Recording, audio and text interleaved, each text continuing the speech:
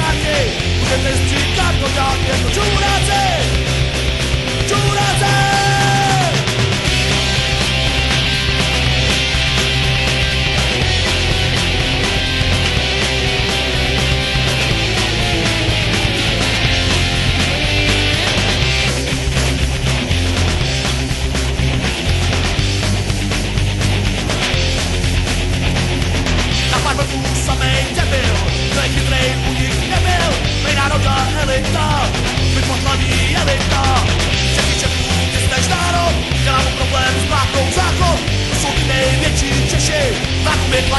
what was she wearing?